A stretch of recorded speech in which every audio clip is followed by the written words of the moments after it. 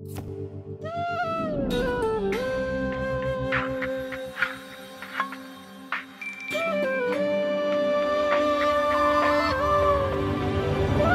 pickles are made the traditional way.